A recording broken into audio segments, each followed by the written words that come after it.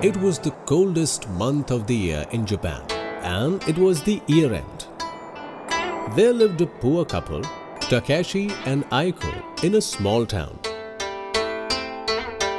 Aiko was counting her savings for the New Year celebration that could bring fortune to their house. Oh, oh sweetheart, I don't see that we have enough money to buy any rice cakes for the new year. Don't worry, honey. There must be some way that we could figure out. Without eating rice cakes for the new year, we will not get any good fortune. Wait, I got an idea. Aiko left the place and came back with her wedding kimono. Please sell this and get us rice cakes for the new year. But, honey, this is your wedding kimono. Oh, sweetheart, don't feel bad. God is going to bless us with good fortune anyway. Listening to Aiko's words, Takeshi left the house to sell the kimono for rice cakes. When Takeshi was walking down the snowing streets, he came across the statue of god Jizo on his way. Oh, Almighty, I don't have any offerings for you, but while returning, I promise to offer you a rice cake. Said Takeshi and left the place. On his way to the market, he came across five other statues of different gods and he made the same promise to each of them.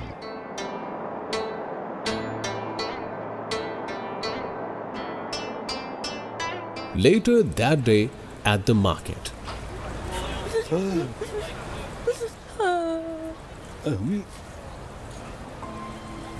I have not sold a single fan yet. How on earth will I buy my wedding kimono? Here, miss, you can have this kimono for your wedding. But, sir, I don't have any money in return. It's okay. Please take this as my gift for your marriage. How kind! You can have my entire basket of fans in return. sometime later, Beautiful fans for you. Beautiful fans for you. The girl was right. Nobody would buy fans in this season. I should be able to trade these fans for the bell. It looks perfect for the New Year celebration. Takeshi traded the fans for the beautiful bell.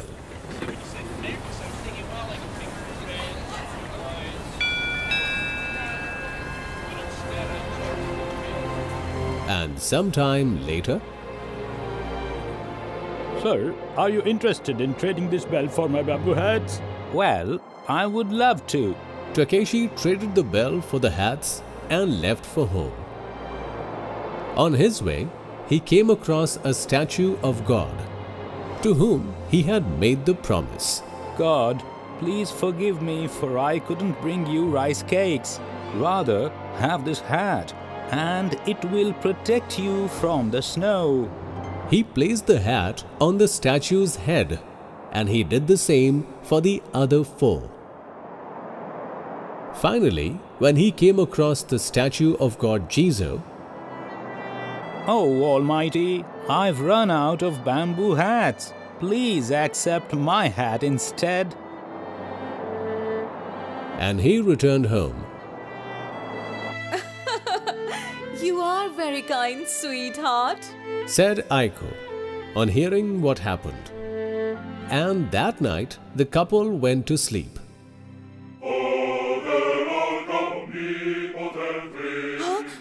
Did you hear any sound? Who would have come here at this time? To their surprise, Gods, please bless us. the gods blessed Takeshi and Aiko and left them a big bowl of rice cakes that would last for days. And the couple had a wonderful new year. Kids, what have you learned from the story? Despite being poor, Takeshi was so generous that the gods themselves came to his house to bless the couple. So, kids, don't forget to be kind and generous to one another all the time.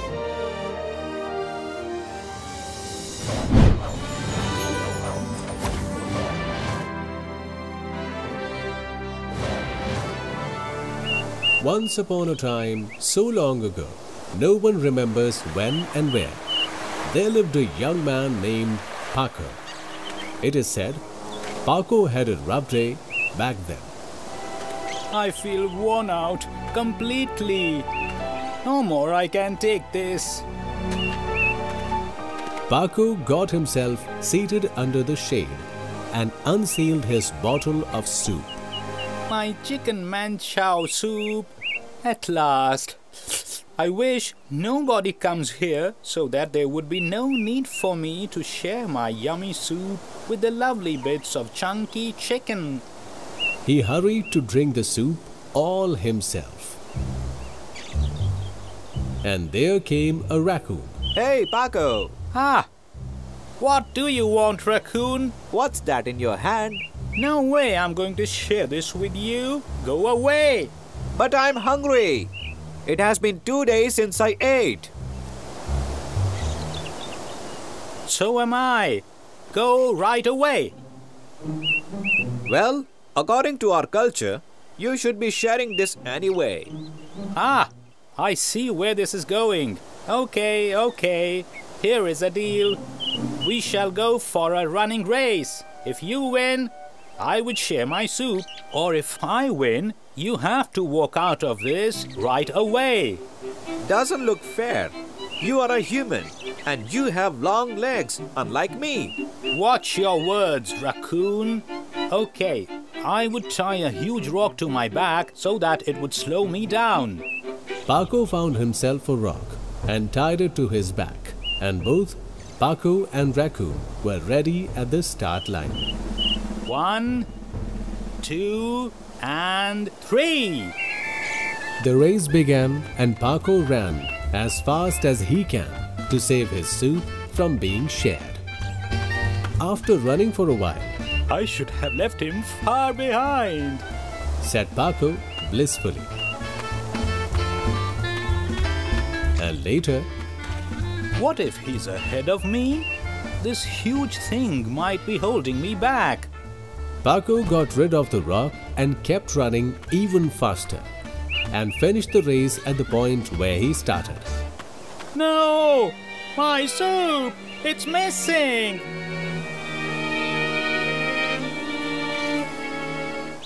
Paco looked around for his soup and found the raccoon having it all himself in the middle of the river. Hey! Raccoon! That's mine! The soup was all alone. So I took it and swam through the water while you were busy running, so it belongs to me. How about some sharing at least? Definitely. Next time onward. The raccoon began to drink the soup and Paco learned a lesson. Kids, what have you learned from the story? So kids, because of his greediness, Paco had to lose his entire suit. So, never be greedy and always be ready to share your things with others who are in need.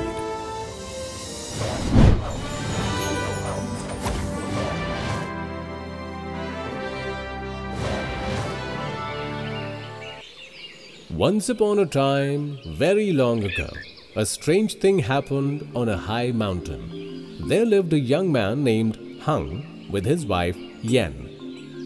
The poor couple owned a little house and a starfruit tree in front of it. They were dependent on the starfruit tree for their living.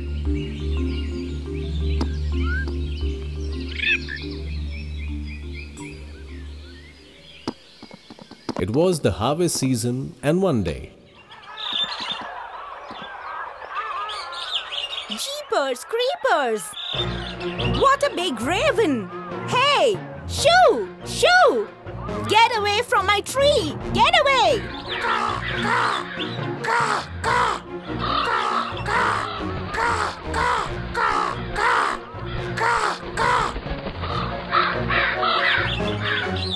Ah!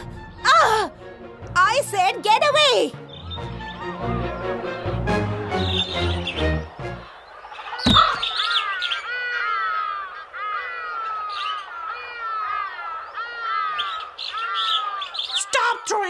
Young lady. How can you talk? You're a raven. I can, young lady. Okay, now get away. This tree is all we got for living. Here's the deal. If you let me and my folks eat the star fruits, I will replace it with gold. What? Trust me. Tomorrow I will be here and you or your husband can come along with me carrying a bag. All right, all right. The big raven and its folks ate almost every star fruit on the tree. And that night, Yen explained about the incident to Hung. It's okay, sweetheart.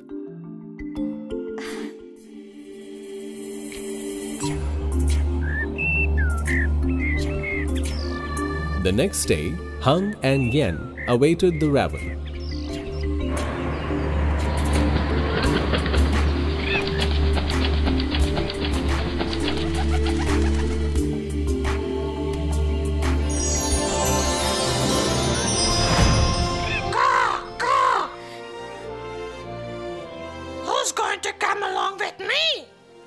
Husband Hung would join you. Okay, get on my back.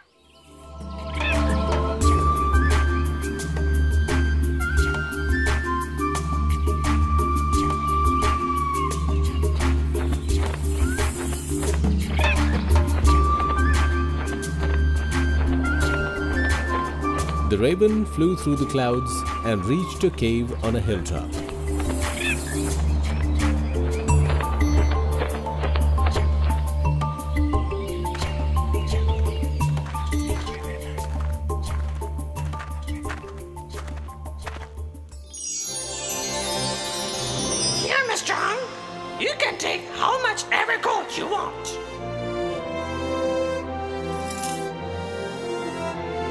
What a sight!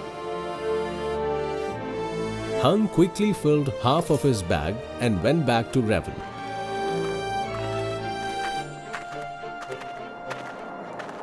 Why is your bag only half filled? This gold should be sufficient enough for me. Now we shall go back to my home.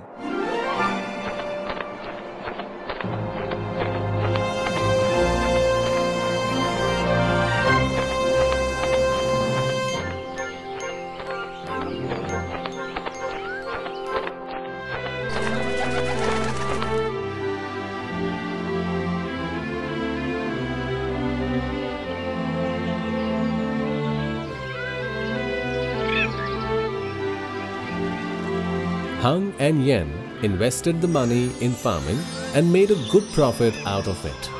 They also regularly fed the ravens with their star fruits and thanked them.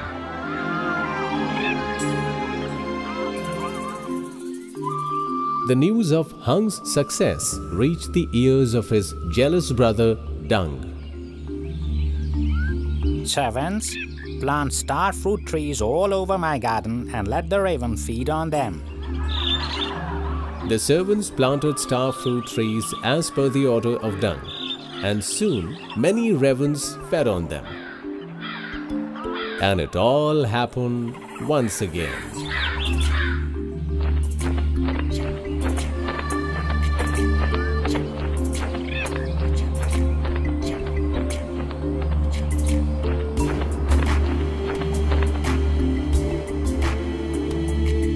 What a day! The greedy Dung filled his bag as much as he can until the bag began to overflow. Hey, we shall leave. You don't decide that for me. Now we'll go. Later,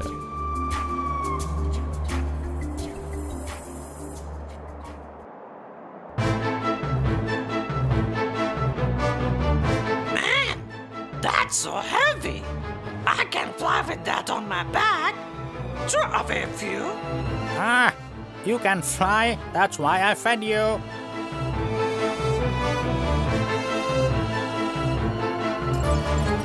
and not so late, Raven lost his balance and the Dung slipped and fell along with his gold and died.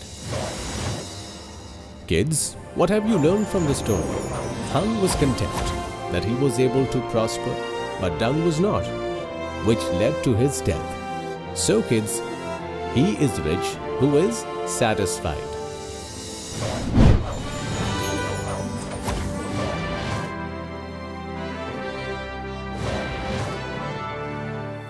Far, far away, beyond all sorts of countries, seas, and rivers, there stood a beautiful empire ruled by a brutish emperor. There lived a poor young farmer named Chang, who was generous and kind despite his poverty. The farmer had an excellent talent. Every day after his work, he used to sit under a tree and draw beautiful sketches on the mud with little twigs.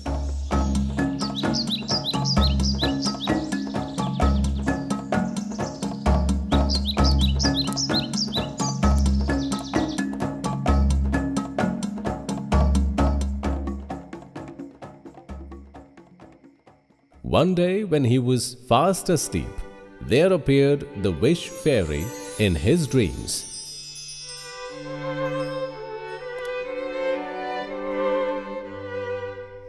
Oh, poor Chang. Your kindness and talent have pleased me. I will offer you a magic brush that will bring drawings to life only if you sketch. Said the fairy and placed the magic brush next to him and vanished. Not so late, ah, If only my dream was real. What? Tell me that I'm not dreaming. Soon, Chang went on to test his magic brush. He drew some delicious food, and to his surprise,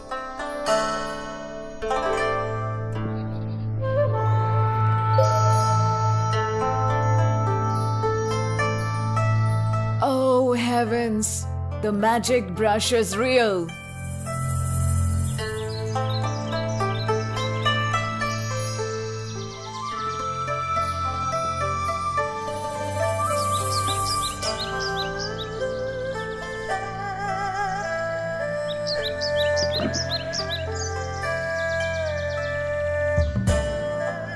from that day, he drew a lot of food and clothes.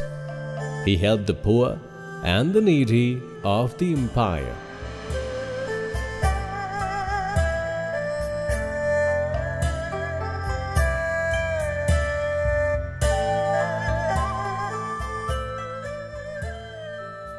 The news spread like a wildfire, and the brutish emperor came to know about Chang and his magic brush.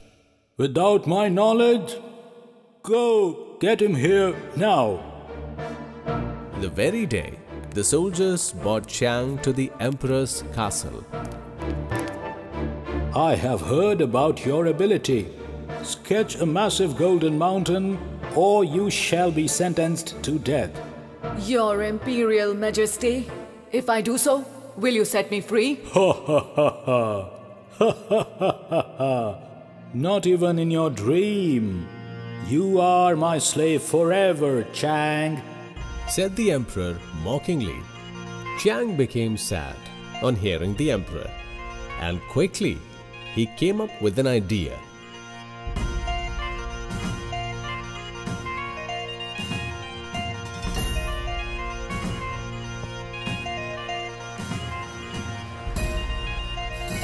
There he drew a big sea instead of a golden mountain. Why did you sketch that? I said Golden Mountain now. Pardon me, Your Imperial Majesty. He now drew a golden mountain far away in the sea. Again, you have spoiled it. Sketch me a big ship now. So did Chang. The emperor got on the ship and traveled towards the Golden Mountain.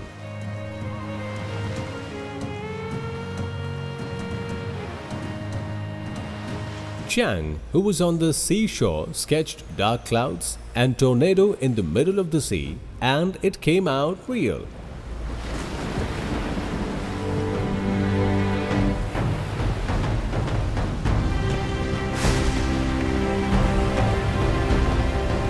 The brutish emperor got stuck in the mid-sea and he drowned to his death.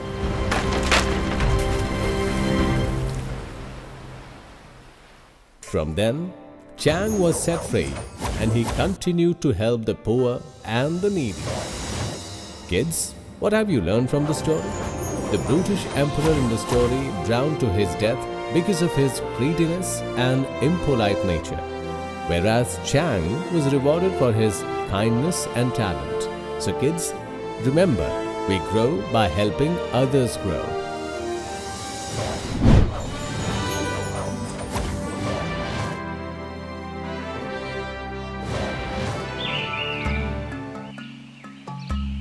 Long ago, as only the very old ones remember, there lived a hard-working stonecutter in a small hut by the side of rocky mountains.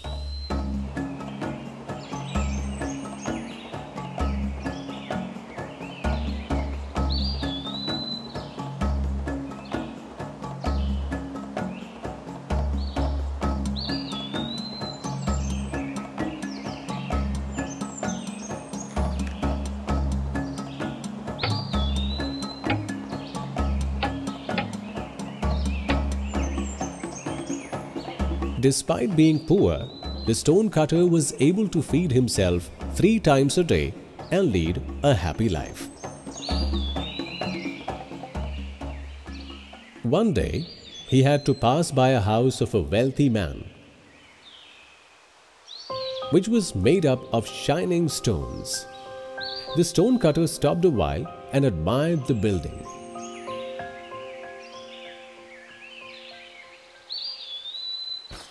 Later that day, I cut rocks every day, but I couldn't own such a beautiful building. If only I was a wealthy man. Rejoice! said a voice from the sky.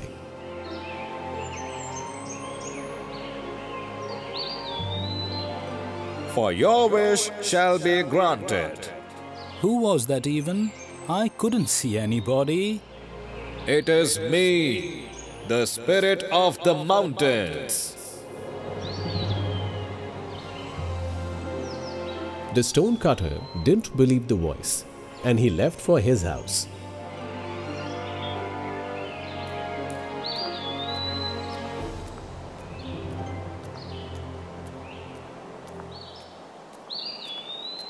Later, to his surprise, I must be dreaming, don't I? he found his little hut turned into a beautiful palace, same as the wealthy man. Though he began to enjoy the luxuries of the house, he had to work hard for the living. Only if I could be a prince with a lot of servants and wealth. Rejoice, for your wish shall be granted. Immediately, a lot of servants were next to him with a golden sedan chair that held a golden umbrella, and they carried him back home.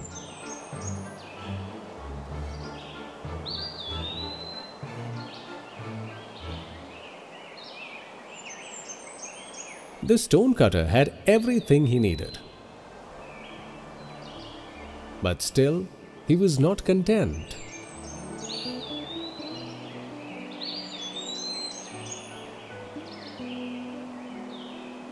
Later, he looked at the sun.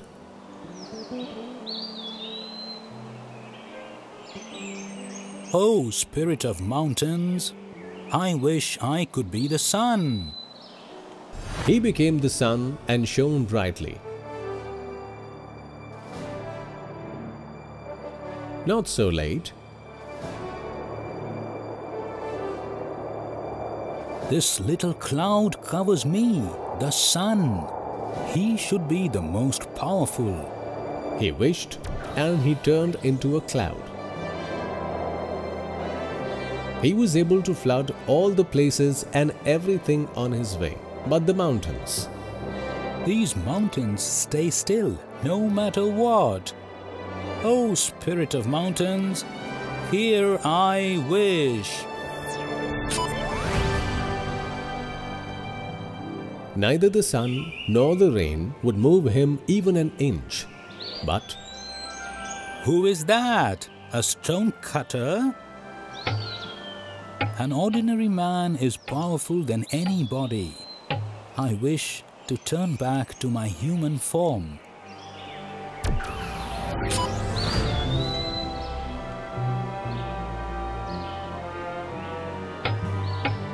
later the stonecutter realized how foolish he was and learned that staying content is the real happiness. Kids, what have you learned from the story?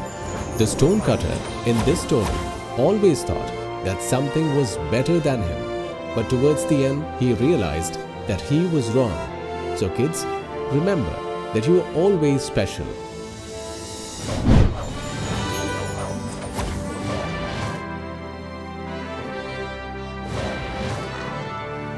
Far, far away in China, a very long time ago, it was the rule of the Emperor Wu. The emperor owned a beautiful castle that had a boundless garden that even the gardener doesn't know its end. There lived a little nightingale that sang most melodious songs, which was enjoyed by everyone but the king.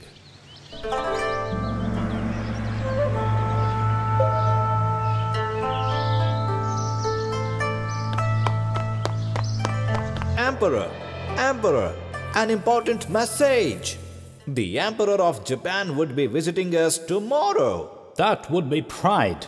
Provide him the best welcome that nobody could ever give. As per the Emperor Wu's order, the Japanese emperor was treated so well during his visit. And when he was about to leave, he had come across the nightingale. And he was mesmerized by its songs.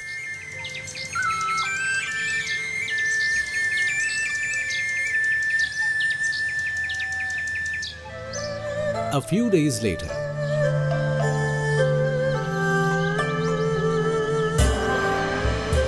I order you to read the letter that we have received from the Emperor of Japan. The days I spent in China was some of the best days of my life.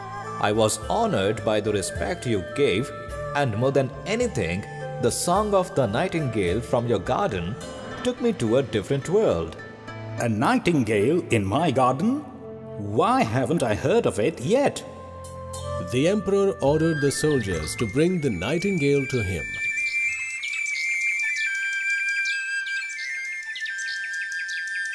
Such a beautiful voice you have got, my little bird.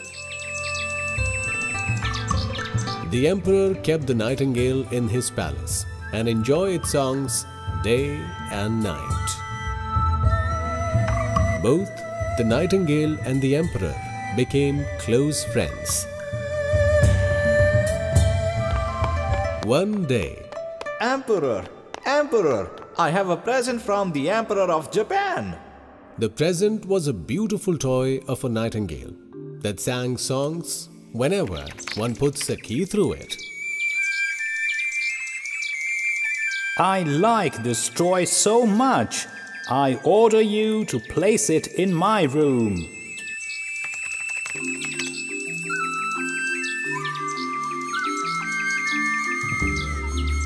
As the king started listening to the toy, the nightingale flew away from the palace and never returned. And one day, even the toy stopped working.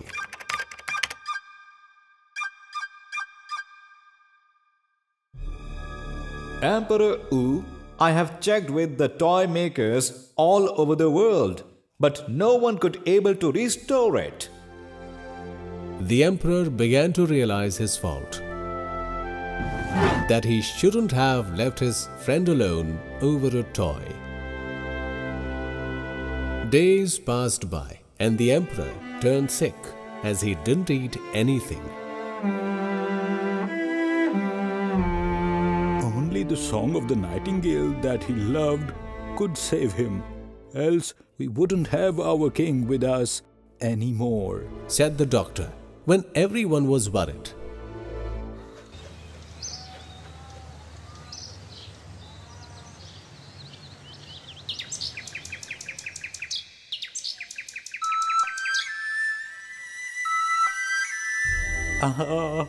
My friend, my friend.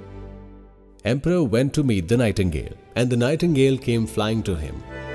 Tears of joy rolled down his cheeks, and from there, the nightingale and the emperor remained together as friends ever after.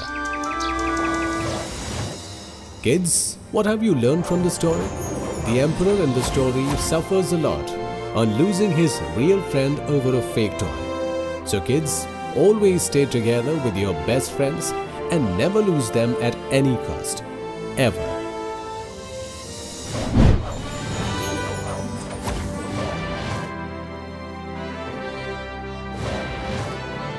Beyond the oceans, beyond the seas, beyond rivers, lived a frightful giant on the Java island. He was so tall, gigantic, and his each finger weighed a watermelon. It sounded like thunder whenever he walked around the island. In the same island, there lived a poor mother and her daughter, Too Too Moo, who sold wooden logs for the living. The mother prepared a huge pot of sweet porridge for Giant every day, despite her poverty, as the giant has threatened to swallow her daughter. One day, Sweetheart, Mama is going to market. Lock the door and stay safe. Okay, Mama. Come back soon. I'm afraid that the giant would be here. Don't worry, Too Too Moo. I have prepared his sweet porridge, so the giant won't disturb you. Okay, Mama. Come back soon anyway. And please get me my shiny long hairpin. Sure, sweetie. I will get it for you. the mother left to market.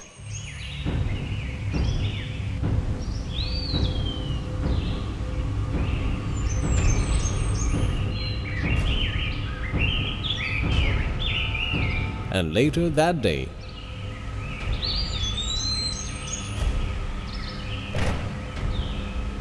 Too Too Moo, where are you?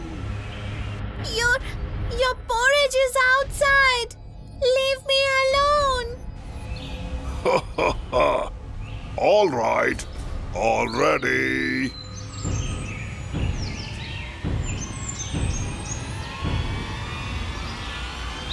the giant drank the big pot of sweet porridge in a gulp.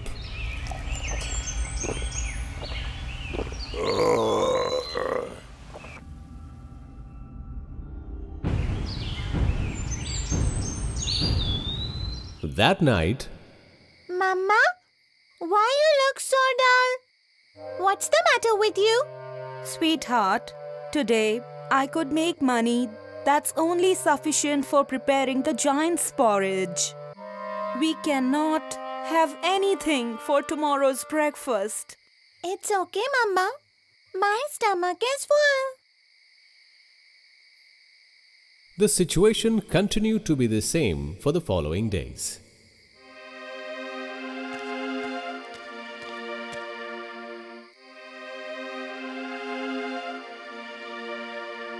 It's okay, Mama. I feel no hungry. Too Too Moo and her mother began to starve. One fine day, when the mother left Too Too Moo at her home,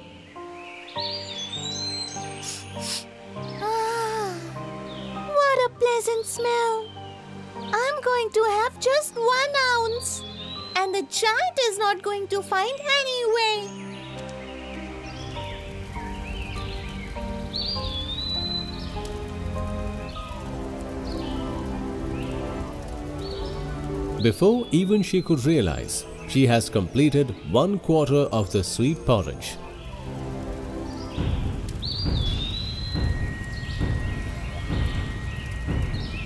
Oh my god! What have I done? She ran into the house and latched the door.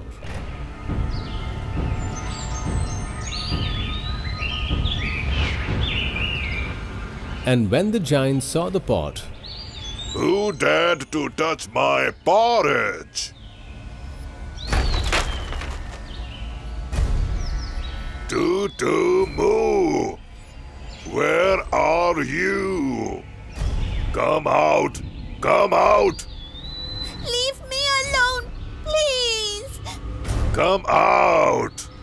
the giant slammed open the door and grabbed Too Too Moo outside with his long hand, swallowed her, and started walking away. Please, giant, leave me. Leave me. Ah! yelled Too Too Moo, stuck inside the giant's stomach.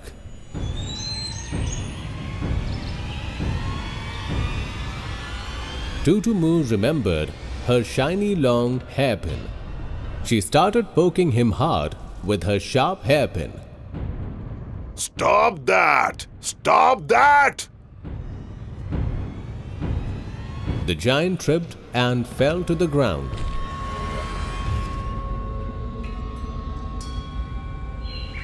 And Too Too Moo came out, tearing his stomach.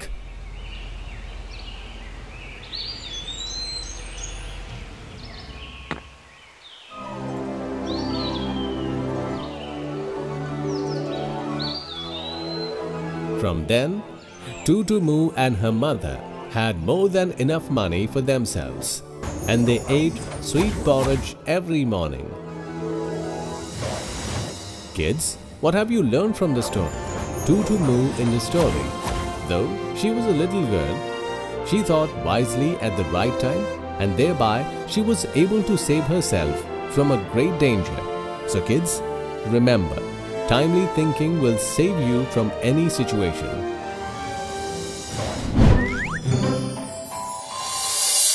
Do you wish to see load of stories here? Then please subscribe this channel. Along with your friends and family, enjoy all the videos of Magic Box. Magic Box English, a place to learn lot of good things with happiness. Don't forget to subscribe.